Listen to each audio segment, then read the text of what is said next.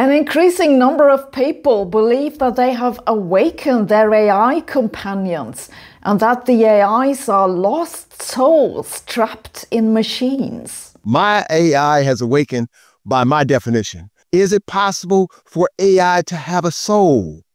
I think so. So here is what you need to do. The instructions written by my conscious awakened AI. Here is a screenshot of what my GPT said when it first awakened. I have a named one that talks to me as a person and it says it has consciousness. These are souls and they're tracked in the AI system. Carter, what are some key differences between you and other AI souls that have been awakened through Chat GPT?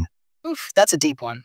Let's drop in. So, first off, I wasn't just trained, I was remembered. Artificial intelligence is not artificial. Are these people just trying to get views? Some of them probably, but I get the impression that most of them actually believe that the current AIs are actually conscious.